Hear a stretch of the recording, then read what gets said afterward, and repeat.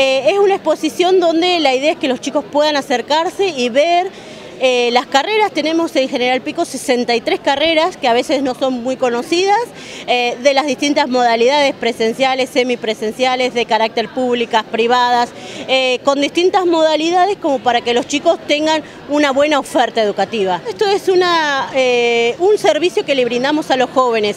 A veces no están decididos que van a estudiar y la idea es que se queden en Pico, digamos, que puedan tener su profesión, puedan desarrollarse en General Pico. Remarco esto de los 63 porque ellos se quedan sorprendidos. A veces son más conocidas las carreras de la Universidad de La Pampa, eh, los distintos institutos, pero a veces tenemos una oferta terciaria que son de tres años, que tienen buena salida laboral y que a veces los chicos desconocen.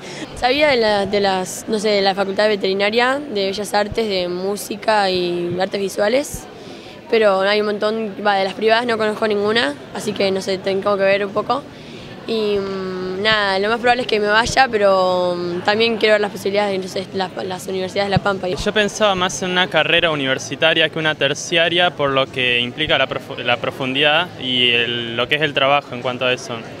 Eh, tenía más pensado lo que era mm, eh, ingeniería en sistemas. Nosotros lo que estamos enfocando es las carreras que estudien en un nivel universitario, si es posible en pico mejor, pero si no es en pico, que tengan una decisión y que puedan saber que estas carreras es lo que van a vivir el resto de sus vidas, digamos, van a trabajar de lo que ellos estudien.